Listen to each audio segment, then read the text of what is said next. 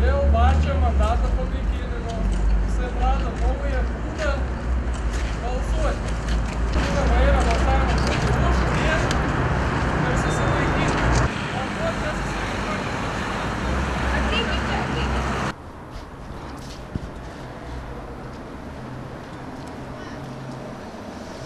Deja, nieko nėra. Tikiuosi, Valerijus Simulik pamatys mūsų protestą per televiziją.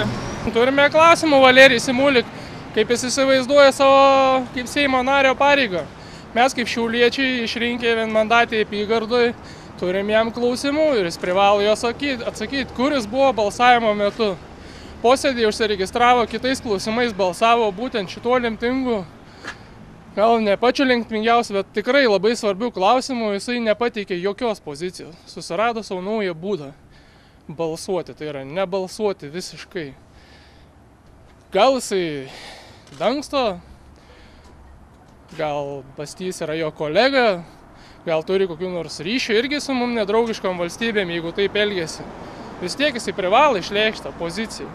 Tokia yra mūsų nuomonė ir tokia mūsų pozicija kad mes esam šiauliečiai, mes rinkom jį vienmandatį apygardai.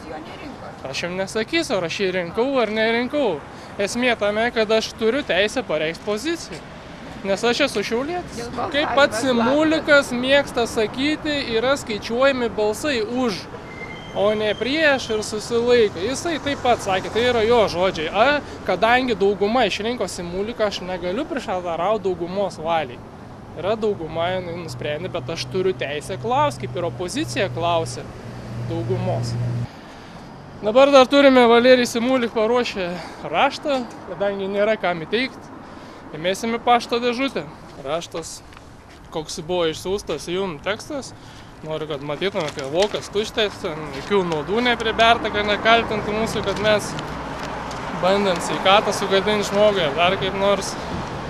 Ir